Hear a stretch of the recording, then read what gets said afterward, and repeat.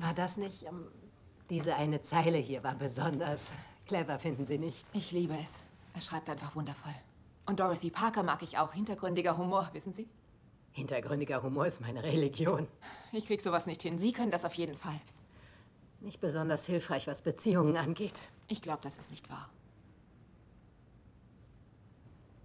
Also gut, sollen wir abrechnen? Ja.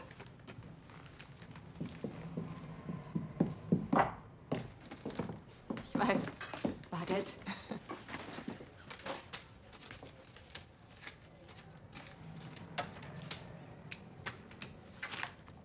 Das hier ist meine Telefonnummer. Naja, die Nummer vom Laden. Falls Sie mal wieder zufällig in der Gegend sind und Lust auf einen Drink oder einen Kaffee haben.